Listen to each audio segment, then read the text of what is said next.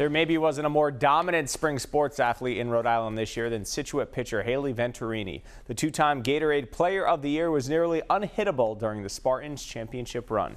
JP Smallens has more with this week's Hometown Hero.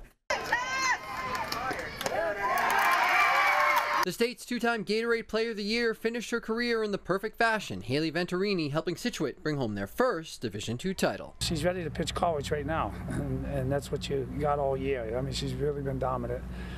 So, you know, I'm happy for her because she works extremely hard and, uh, you know, and, and, works with the other kids on the team to make us better, and that, that's what it's all about.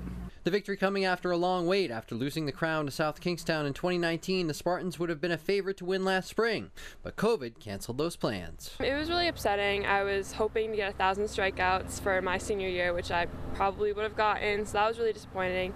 And we came right off of losing like a state championship game, and we were all just like so uh, pumped up and ready.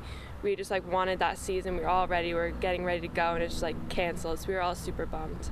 Haley was able to pick her future home before the pandemic took hold. Her visit to Hofstra in the fall of her junior year made for an easy decision, and her work with the Spartans should allow her to make an impact early. It was really great. I just like walked on campus. I immediately felt like this was my forever home. I felt loved. I love the campus, love like the community that they have built there. So it's really great. I would just like knew as soon as I walked on place that that was the place where I was going to go. I'm ready. It's two months. I'm counting down. I'm ready to go, and I'm so excited.